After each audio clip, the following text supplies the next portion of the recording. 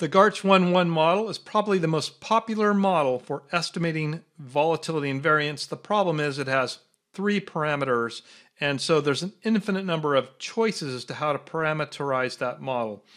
A popular approach to determining the parameters to fitting the model is the maximum likelihood estimation approach, and it determines for us the parameters that best explain the data that we observe.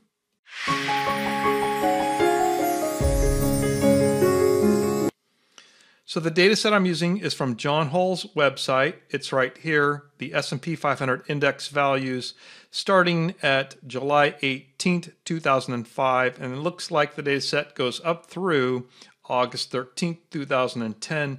As usual, I've collapsed the rows, the interim rows. In this case, it's several hundred rows because this is a tall data set. And over here we have the day count.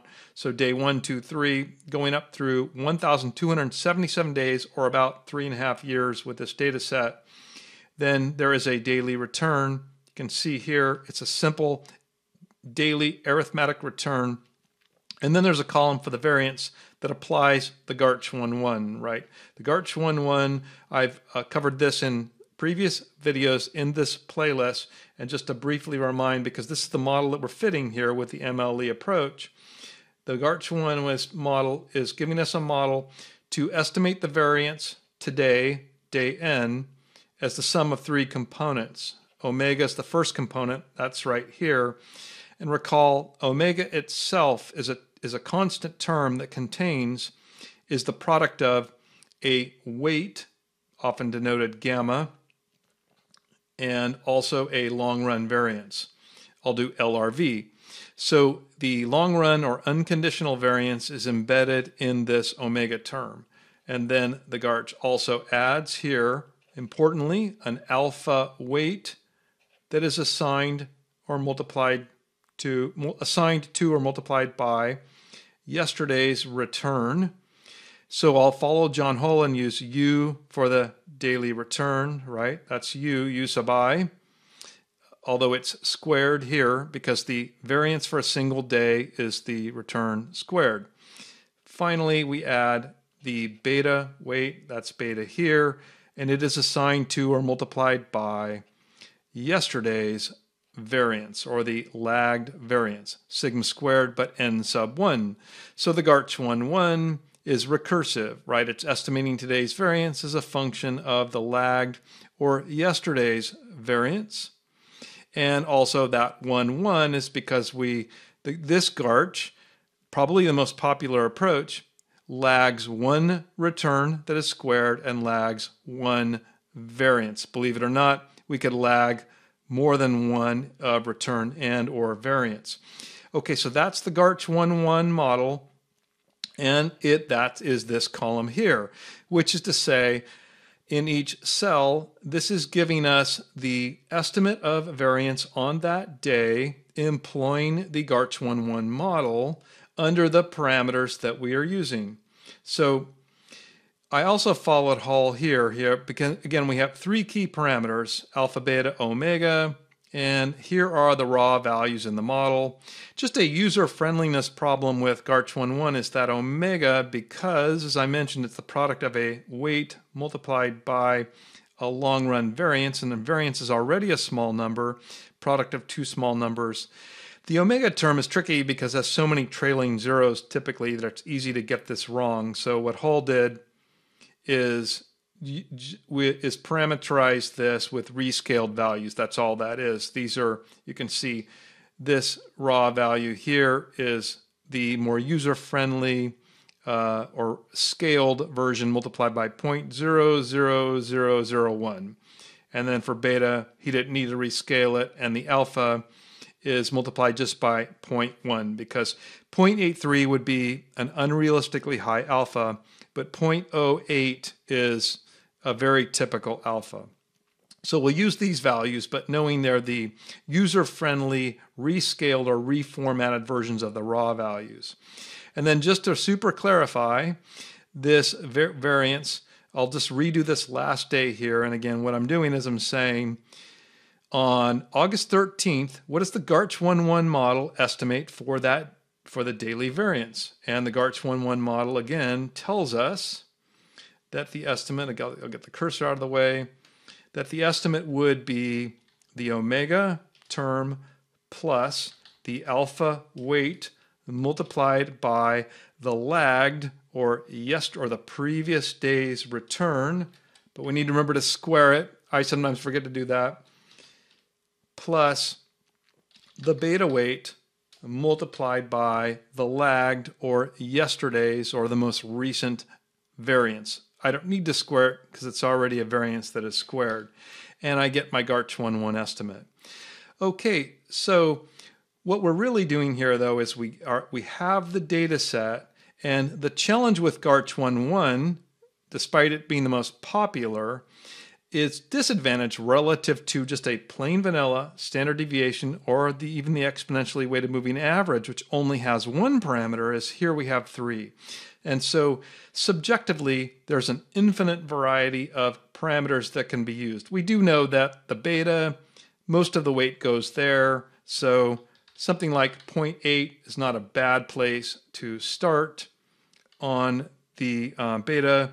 And let's see, 0.5 wouldn't be a terrible place to start on the alpha. Again, the uh, 0.5 for alpha is really 0.05. So these are the real values. I'm going to bold them just to make sure I clarify that. Um, however, what we have here is the maximum likelihood estimation approach, MLE, typically see it that way, that will fit these parameters for us. It's a statistical approach that determines the values for the parameters of the model based on the data. So it's finding the parameters that gives us the model that maximizes the likelihood that the process that we actually observed was produced by this model. So in this case, here is the maximum likelihood function. I'm not going to go into the derivation of that because that's in John Hull, and it's a little bit easier than it looks like at first glance because I'll just give you the key idea, I think, if you want to look at that. And it's this based on the GARCH11 model, it's a model for the conditional returns being normally distributed, such that these returns here, which are denoted u sub i, and that's right here, these are conditionally normal. So it's really just a normal distribution function. However, you may, you may know that normal that the probability density function for a normal distribution, it contains an exponent. So it's easier to just take a natural log of that because maximizing the natural log of something, a function is the same thing as maximizing the value of the function. So we end up here with a fairly convenient maximum uh, or, or, likelihood uh, estimation formula, and that's this column right here. So this formula is implemented in each of each of these cells. And the summation here, I'm not going to retype that, is right here.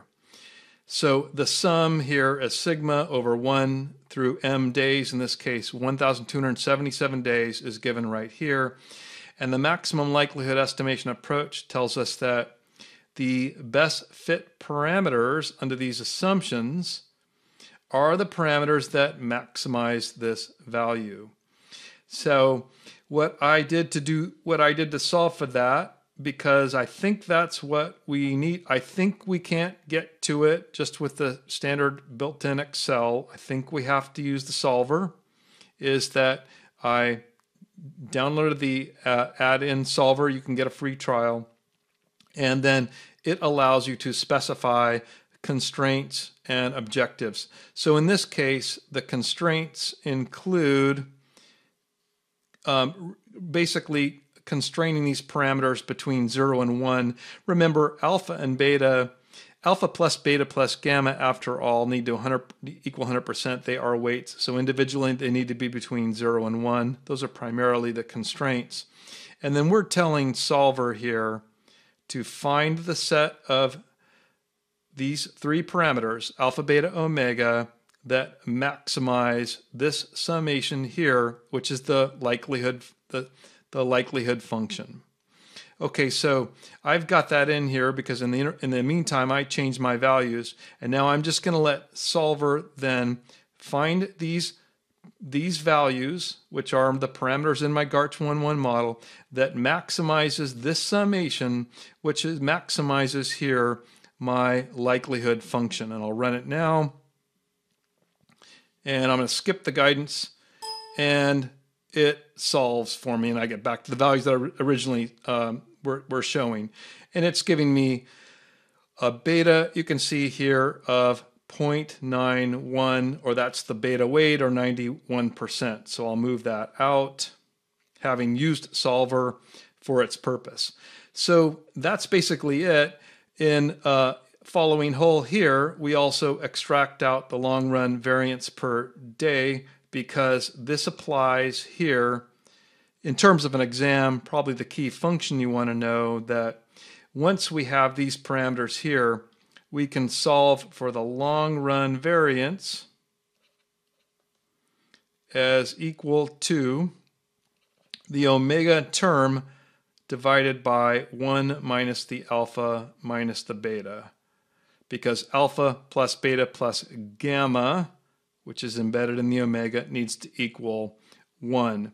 And so that formula here allows, to, allows us to infer the long run variance and then the square root of that is the long run, I'll get right here, is the long run volatility. And then we scale that with a square root rule to infer the long run volatility on a per annum basis, in this case 22.8% or so. But this fell out of our parameters that were determined by this maximum likelihood estimation approach which really inferred the parameters from the data set that we actually observe. So I hope that's helpful. Thank you. If this video was helpful, please subscribe to the channel and you'll get updates.